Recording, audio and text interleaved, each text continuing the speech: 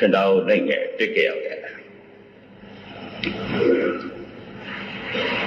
ਜੋ ਕਬੀਰ ਕਹਿੰਦੇ ਨੇ ਮੂੰਦ ਲਿਏ ਦਰਵਾਜ਼ੇ, ਬਾਜੀ ਵਾਲੇ ਅਨਹਦ ਬਾਜੇ ਮੈਂ ਇੰਦਰੀਆਂ ਦੇ ਦਵਾਰ ਬੰਦ ਕਰ ਲਏ ਨੇ।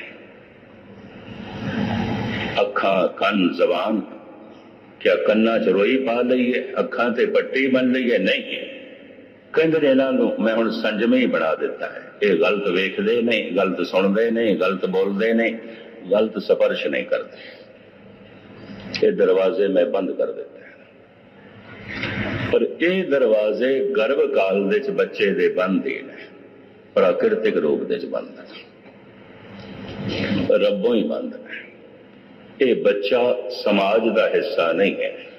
ਇਸ ਬੱਚੇ ਦੀ ਕੋਈ ਜ਼ਾਤ ਪਾਤ ਨਹੀਂ ਹੈ ਗਰਭਵਾਸ में ਕੁਲ ਨਹੀਂ ਜਾਤੀ ਗੁਰੂ ਅਮਰਦਾਸ ਜੀ ਇਸ ਗਰਭ ਕਾਲ ਦੇ ਵਿੱਚ ਨਾ ਕੋਈ ਕੁਲ ਨਾ ਕੋਈ ਜ਼ਾਤ ਨਾ ਕੋਈ ਮਜ਼ਹਬ ਇਹ ਸਮਾਜ ਦਾ ਹਿੱਸਾ ਨਹੀਂ ਹੈ ਇੱਕ ਗਰਭ ਕਾਲ ਦਾ ਬੱਚਾ ਸਮਾਜ ਦਾ ਹਿੱਸਾ ਨਹੀਂ ਹੈ ਫਿਰ ਇੱਕ লাশ ਘਰ ਦੇ ਚ ਪਈਏ ਮਰ ਗਿਆ ਹੁਣ ਇਹ ਵੀ ਸਮਾਜ ਦਾ ਹਿੱਸਾ ਨਹੀਂ ਰਿਹਾ। ਅਗਰ ਸਮਾਜ ਦਾ ਹਿੱਸਾ ਹੈ, ਤੈਨੂੰ ਚੁੱਕ ਕੇ ਜਲਾਉਣ ਦੀ ਕੀ ਲੋੜ ਹੈ? ਇਹ ਸਮਾਜ ਦਾ ਹਿੱਸਾ ਨਹੀਂ ਹੈ। ਇਹ ਸਮਾਜ ਤੋਂ ਨਿਕਲ ਗਿਆ। ਨਾ ਹੁਣ ਇਸ ਦੀ ਕੋਈ ਜ਼ਾਤ, ਨਾ ਪਾਤ ਨਾ ਮਜ਼ਹਬ। ਸਭ ਕੁਝ ਤੋਂ ਨਿਕਲ ਗਿਆ।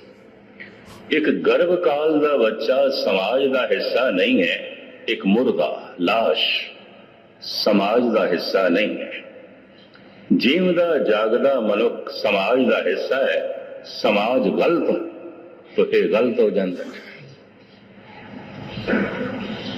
प्रेरणा समाज तो गलत मिल रही है तो गलत हो जाता है मां बाप गलत ने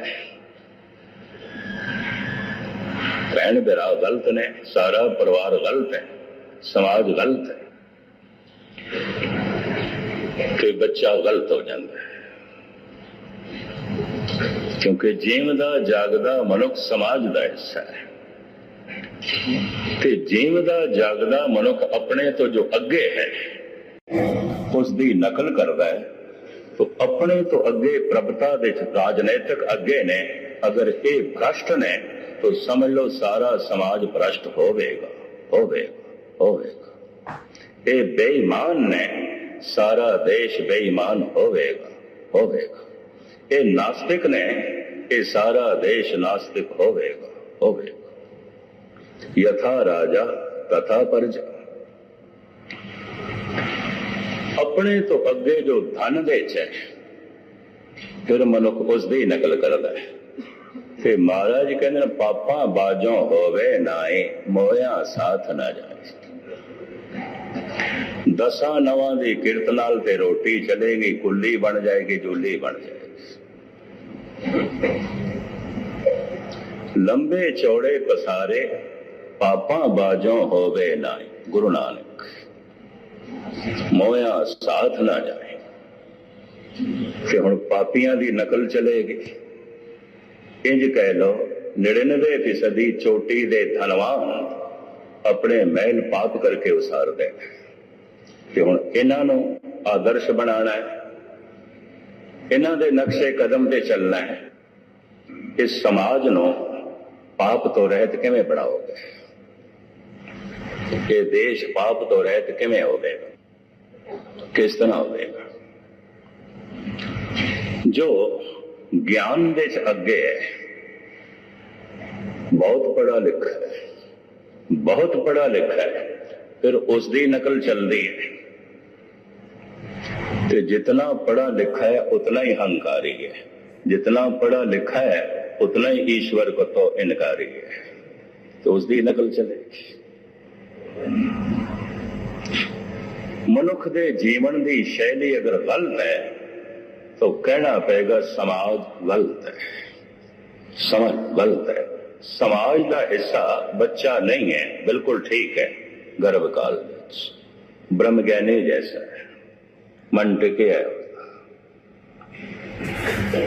ਸਮਾਜ ਦਾ ਹਿੱਸਾ ਮੁਰਦਾ ਵੀ ਨਹੀਂ ਰਿਹਾ। ਹੁਣ ਇਹ ਵੀ ਠੀਕ ਹੈ। ਹੁਣ ਇਹ ਵੀ ਠੀਕ ਹੈ। ਜੀਵਦਾ, ਜਾਗਦਾ ਮਨੁੱਖ ਠੀਕ ਨਹੀਂ ਹੈ।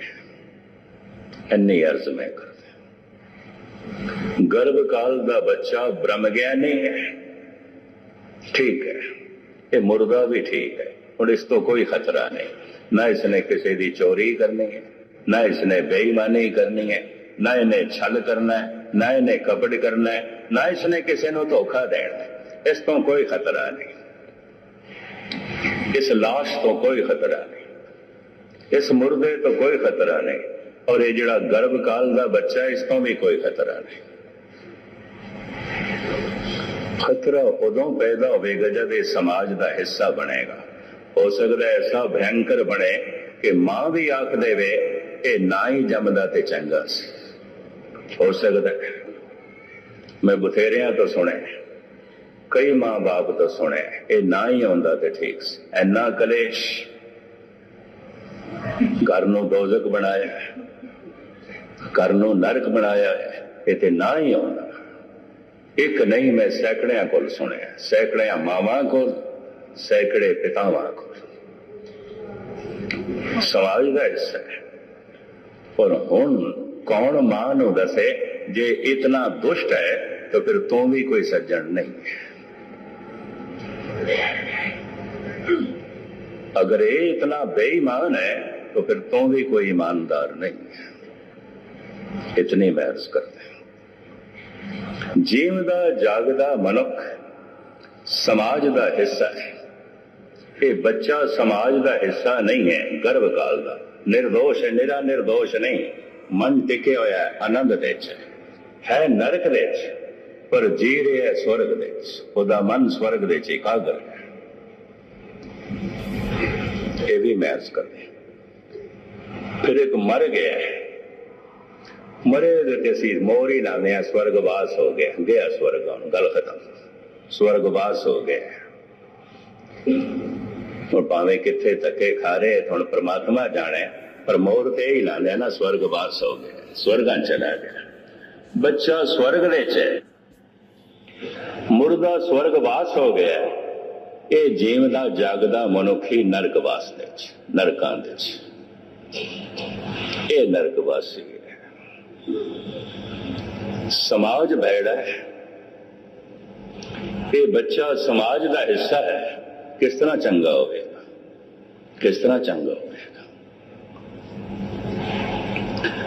ਮੁਹੰਮਦ ਸਾਹਿਬ ਨੇ ਇੱਕ ਧਾਰਮਿਕ ਉਪਦੇਸ਼ਕ ਨੂੰ ਜਦ ਇੰਜ ਕਿਹਾ, ਇਸਲਾਮ ਦਾ ਪ੍ਰਚਾਰ ਕਰਨ ਵਾਲਾ ਸੀ, ਵੀ ਤੇਰਾ ਇੱਕ ਗੁਨਾਹ 10000 ਗੁਨਾਹਾਂ ਵਰਗਾ ਹੋਵੇਗਾ।